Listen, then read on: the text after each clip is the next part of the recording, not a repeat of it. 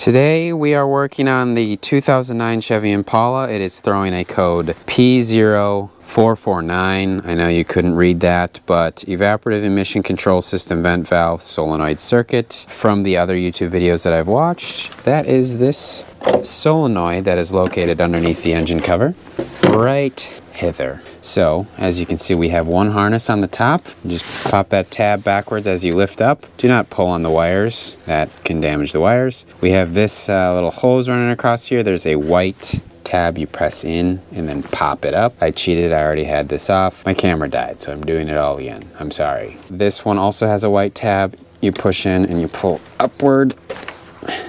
So we get that out of the way. Now we just take this 10 millimeter off which is right here.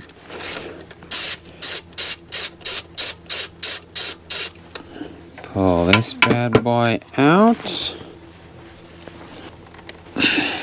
And we might have to sneak a little flathead underneath there. I am not in my own garage right now. This is a scary place to be, so I don't really know where anything is.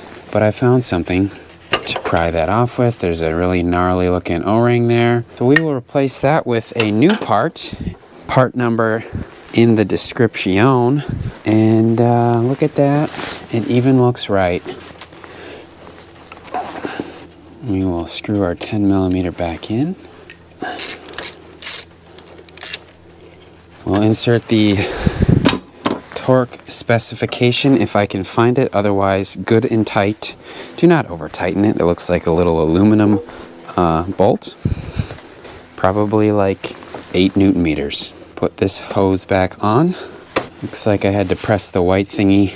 The white lock, lock helped me get that back on. Press this on until it clicks. And uh, we can put our engine cover back on. And our oil fill cap back in. Voila! We will use our handy dandy scanner tool here to clear the fault codes. Clearing them, it gives you a warning to say you should be a professional before clearing them. I will also put the link to this uh, OBD scanner in the description for your convenience. All right, that is cleared. We will start it just to see what happens. For those of you who are regulars to the channel, I have upgraded my audio setup. As you can tell, no matter where I am in this room, you can hear me. Isn't that just incredible? If you want to make your own YouTube videos with this same setup, I got a link in the description for you. Wireless Labs, what an amazing piece of technology.